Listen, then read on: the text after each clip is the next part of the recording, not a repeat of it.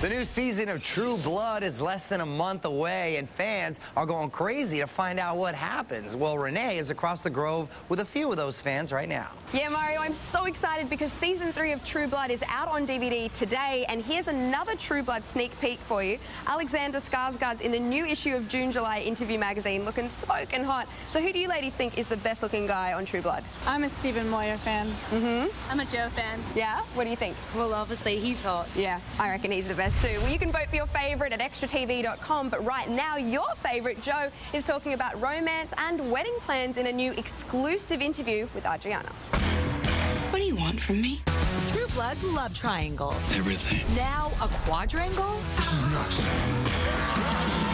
The new season four trailer hints at it. The new poster practically rubs our faces in it. But can the werewolf Alcide really compete with vampires Eric and Bill? I'll deal with it personally. Who better to ask than Alcide himself, Joe Manganiello? In the season finale of season three, Alcide made a pass at Sookie and will definitely pick up where that left off. I'm thinking about you. A lot.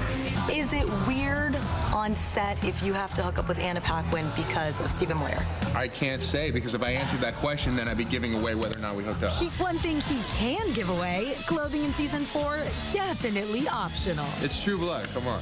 My exclusive chat with Joe at the Ford Mustang Boss Workshop, where he mentors boys with type 1 diabetes. Do they get excited? Are they I don't think they watched True Blood yet. Let me rephrase the whole question and say, how do the moms approach you? They're friendly. I bet they are. But Joe's taken. He's actually about to marry actress Audra Marie. and you picked the engagement ring, I'm sure. oh, I, I, I made it, yeah. I helped design it. Oh my God. Yeah, so it's one of a kind.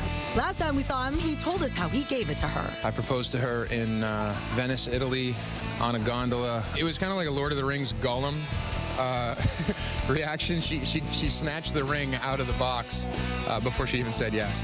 True Blood fans can't wait to snatch this up. Season 4, HBO, June 26th.